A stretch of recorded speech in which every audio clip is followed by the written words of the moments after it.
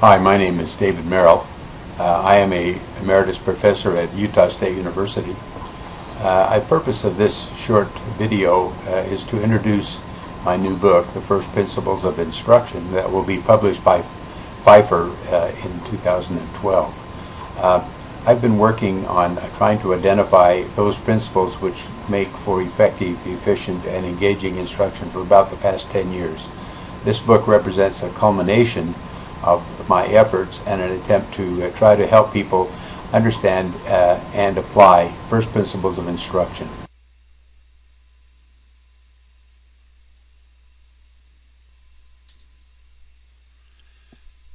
This new book, First Principles of Instruction, really has two main parts, which we have designated here as finding and designing e to the third power instruction. E to the third power means effective, efficient, and engaging instruction. And in the first half of the book, we try to present that kind of theory which would enable us to uh, carefully identify effective instruction when we find it. In the second half of the book, we try to implement the pebble in the pond model of instructional design for designing first principle instruction based on first principles. This diagram represents the overview of the first half of the book. I will briefly explain the organization and a little bit about the theory that underlies this book. The uh, first chapter in the book, not designated on this diagram indicates some of the problems we have in current instruction. The second chapter of the book, titled First Principles of Instruction, outlines the first principles as we have identified them. There are five main principles uh, which we designate as activation, demonstration, application, integration, and problem-centered. Uh, these are the principles which uh, this book e elaborates in some detail. The starting in chapter 3 we lay a foundation for first principles. If we're going to discuss instruction in detail, we need to have a way to describe that instruction. Chapter 3, which is labeled Instructional Content, identifies five types of skill, information about, parts of, kind of, how to, and what happens. And it also ind indicates some of the um, elements, content elements that are associated with each of these kinds of skill. These elements can be represented at two levels, both an information level, that is, that's a general level, the, uh, and a portrayal level, which is the specific level or the example level. This chapter then elaborates and illustrates this way of describing instructional content. Chapter 4 talks about instructional interactions. We have identified four primary interaction modes tell, show, ask, and do. It seems that almost all instruction can be either uh, presented to the student, they can show examples, uh, we can ask people to remember the uh, information or we can ask them to apply that information to solving problems. So when we use these words, tell, show, ask, and do, we're using them very specifically in this book. Uh, this chapter describes, defines, and illustrates these primary interaction modes, these four interaction modes. In addition, we talk about multimedia, providing feedback, providing guidance and coaching, and the idea that we need to have more than a single example if people are going to really learn effective instruction. Chapter uh, 5 is a very important uh, chapter in this book in that it brings together the five types of instructional outcomes it, and the, the uh, interaction modes tell, ask, show, and do. And then in the cells of this matrix, it indicates those content elements which are told or asked or shown. Uh, and so each of these lines, each of these rows represents those instructional events which comprise an instructional strategy for a particular kind of instructional outcome. This chapter takes each of these five different types of, of learning outcomes, types of skill, and describes in some detail the effective instructional strategies that might facilitate learners to effectively and efficiently gain that particular skill. The problem solving uh, chapter in chapter 6 is probably the most significant chapter in this book. It represents new information that I have not previously published and is an attempt to show that all of these component skills uh, come together to form uh, a, a composite or a, comp a compound strategy for teaching whole problems. So in this particular example, we have uh, what happens, which is a set of conditions leading to a consequence. We have a set of steps which lead to these conditions. And we have properties that define the conditions or define the steps. The conditions leading to a consequence represent what happens. The steps that create or, or lead to the conditions are how to, and identifying a condition or a step by a set of properties is a kind of. So this diagram for a whole problem brings together what happens, how to, and kind of all in a single uh, integrated strategy for teaching whole problems. We then move to a chapter where we talk about the difference between traditional curriculum, which is represented by this diagram, in which we present a series of uh, information, we present some practice or test, uh, some more information for a given topic. We repeat that for a second topic and for a third topic and so forth until we've presented all of the topics that we want to teach. And finally, usually at the end, toward the end of the course, students are asked to put this all together into some form of final project. This is a typical traditional curriculum. In First Principles, we introduce a different type of instructional curriculums for teaching problems in which we use a progression of problems. Number one indicates here that we show a whole problem.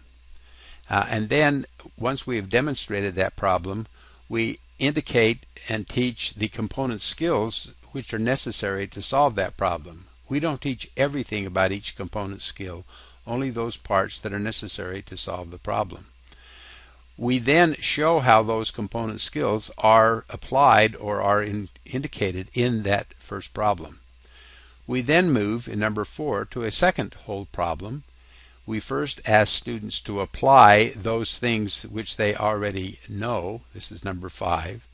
And then we present additional details for each of the component skills that might be required for this second problem. This process is repeated for a third problem, for a fourth problem, and finally, after all of the details of each component skill have been uh, demonstrated and applied by students, we have students solve a, a new problem without assistance. In this approach, there is a progression then of portrayals of a given type of problem until the student has sufficiently mastered the content for that problem. There are several other chapters that I won't go into detail here in the first part of this book. One deals with peer interaction, how do students interact with each other in an effective way. Another one deals with structural frameworks, sometimes called advanced organizers. How do we activate what students already know and use that to create new information? And finally, of course, in this day and age, we need to be concerned with how we implement these instructional strategies using media. This first section of this book ends up with a course critique checklist. This is a checklist of all of the uh, content theory, the interaction theory, the strategies uh, that you can use to evaluate a given piece of instruction. This kind of represents the overview of the first part of this book.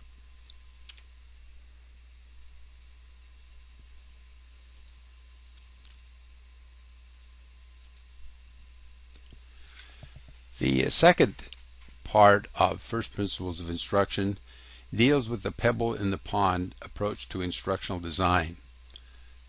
This diagram as in chapter 11, is the overview of the pebble in the pond approach. The pebble in the pond differs from traditional instructional design in that it is a problem-centered approach. It is a content-first approach. It promotes developing functional prototypes rather than instructional design specifications. Uh, and it moves in a somewhat different way. It still, however, implements analysis and, uh, and design uh, and development, uh, the typical uh, ADDIE model of instructional design, but in a different way. Let me briefly overview the second half of this book and the Pebble model for designing instruction. The first thing we're concerned with is how to design a problem prototype. This diagram is far too complex for this particular video, but what it basically illustrates is a sample course on photographic composition, and this is a different representation of the diagram we saw representing the steps, conditions, properties, and consequence of a whole problem. So this is a way to analyze a whole problem to see all of the component pieces that are involved in that problem. We then design a, a demonstration and an application for an instance for a, a portrayal of this problem. That's the first step. So rather than specifying an instructional objective, which tends to be abstract, we actually identify a typical problem that the students would be able to solve. We, we develop a presentation or demonstration of that problem, and we use that same problem to uh, create an application that would require the students to apply what they know to solve that problem. In this particular case, the problem was how to uh, create, how to take and and create uh, photographs which use effective photographic composition. The second part of the second step in the Pebble model is to develop a progression of problems. Rather than teaching all of the topics and having a problem at the end, as we illustrated for a traditional curriculum, in the first principles approach, we try to identify a whole series of problems. This particular diagram represents a series of photographs that try to illustrate or which can be used to illustrate photographic composition. What we've done in this particular analysis is to identify the uh, conditions for each of these photographs down the left hand side simplicity, rule of thirds, format, frame, line are all conditions which create or help create an effective photographic composition. The X's in the cells indicate which of those conditions a particular photograph in our progression of photographs represents. The four items below that, pose, viewfinder, crop, and edit, are steps that a student could take or have or the, a photographer has taken to create the effective photograph. If an X appears, it means that this photograph illustrates that that step has been taken. If there is a question mark there, it means that either the condition could be created by editing or cropping, uh, and the question below indicates that this photograph could be fixed uh, by these uh, the, these taking one of these steps. So by laying out our entire set of problems here across the top and indicating which conditions and which steps are involved, we can create a sequence of problems from simple to the most complex. And we will use that sequence then to teach uh, the the skills that we want students to have as we move through this progression of problems. We try to arrange this progression in such a way that by the time we have finished, students will have acquired all of the skills. You will note in the last column there's a question mark in each of the each of several of these uh, conditions and steps indicating that this photograph could be improved uh, and will be improved as an application of what the student has learned about photographic composition. I hope that you can see that any kind of problems could be put into a sequence of this type and that the idea is to start with the problems and then figure out what it is the skills that students need and then sequence those into a problem progression. Finally, once we have the problem progression, we want to develop component skills. So in this case, what we want to do is to create a presentation, a set of instructional events which will enable uh, the student to acquire the skills. In our in our photographic composition, uh, this particular uh, slide uh, illustrates pose, viewfinder, and rule of thirds. I wanted to uh, show this my particular slide also involved in uh, this is model animated railroad. with a demonstration. Candid photos are fun and sometimes really capture the action of the story you want to tell. However, you usually have more control over the photograph if you compose your subject.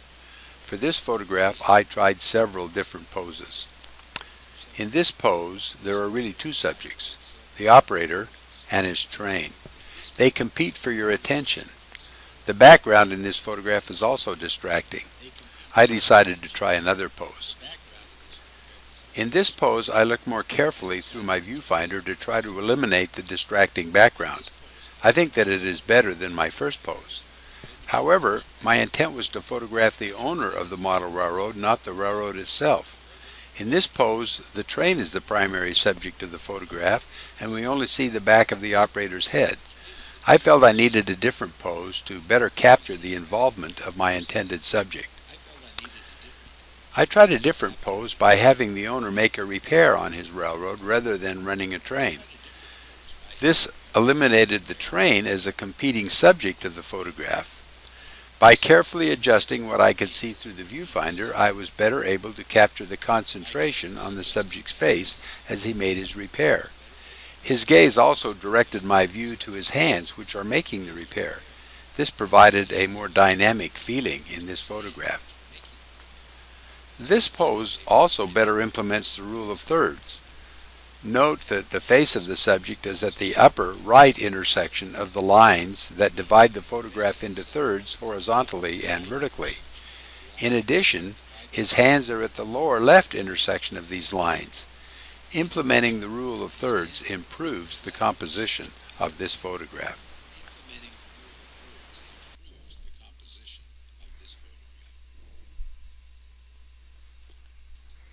I hope that by showing that example you can see that after we have a progression we go back and teach each of the component skills. That was one slide to teach some of the component skills involved in photographic composition.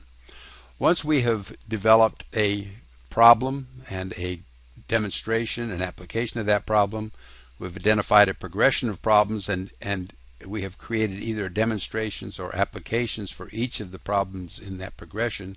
And then we have created additional instruction to teach the component skills necessary to solve the problem. The next thing we can do is enhance our strategies by using either uh, some kind of uh, structural uh, framework.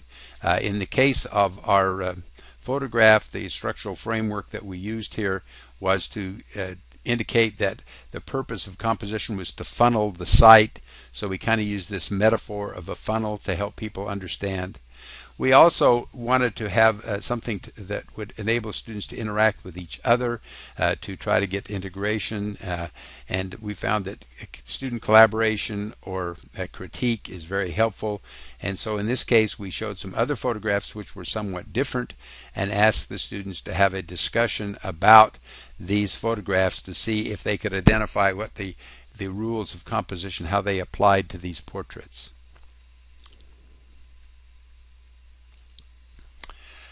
Finally, uh, we finalize the design. There are a number of things we can do to finalize the design.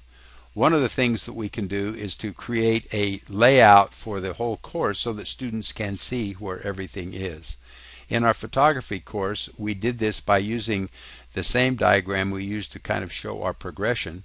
The buttons here underneath each picture are where that particular uh, condition listed on the right, simple, rule of thirds, etc., is explained, uh, and or where the step viewfinder crop edit is demonstrated. So this also serves as kind of a content oriented navigation tool for purposes of review so that students can go back and review any particular part of the of the course. Uh, another thing that we wanted to do was to provide some kind of a checklist, uh, some kind of a, a guide for students to use uh, in the future. So we created this kind of checklist for good photographic composition using some of the photographs from our from our lesson and the, uh, the definition of each of the pieces of information for each of the component skills. We created this checklist to try to help students uh, is they took additional photographs. We also, of course, added uh, checked on navigation, we checked on the layout, we checked on the appearance. All of those things are necessary to finalize a, a particular course. Um, and so those are some of those items are identified in this chapter on finalizing. And finally, it's important that we evaluate our course. So one of the things we want to do is to go through and make sure that we have created assessment opportunities. Uh, this is an assessment opportunity that allows students to uh, kind of uh, check and, and identify a, a, particular condition of composition if it appears in the photograph to the right. Uh, it also combines not only this kind of uh, assessment of what they've already learned, but it also introduces a new idea, in this case the idea of a frame. And so the the idea here is that uh, we can, as, as you noticed in the diagram where we showed the, the problem progression, uh, we present a new example, we apply what we've already learned, and then we present new information about this example. And this is a case where we do that. We go through the whole course uh, in, to make sure that we have assessment opportunities throughout the course. Um, in addition, uh, we want to be able to collect data. We advocate in this particular, um, in one of the examples that we use in first principles is that we want to create a functional prototype, something that can actually be used to try out uh, with uh, potential students before we create our final design. Uh, the illustration uses PowerPoint and shows how that PowerPoint can be used. This particular slide shows that by adding some simple macros to PowerPoint, we can actually collect data as we in, as we try out our student or try out our prototype with our students. And one of the steps is to actually try the prototype out to gather some data to see if in fact we've created effective, efficient instruction. Another thing that's that, that we've talked about here is functional prototypes. Uh, in PowerPoint, there are some really powerful things we can use with Slide Masters. Uh, in PowerPoint 2.10 on the on the PC, uh, these Slide Masters can have uh, animation and other kinds of interaction attached to them, so that we can actually create templates for students to use uh, for designers to use.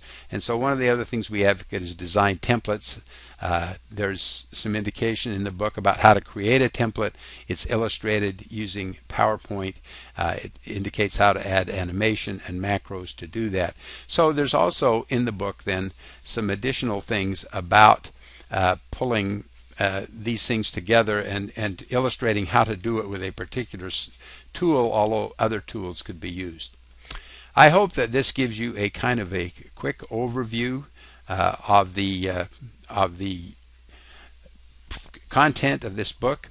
I would certainly uh, welcome your contacting me at the uh, the URL or at the at the email that's uh, indicated here.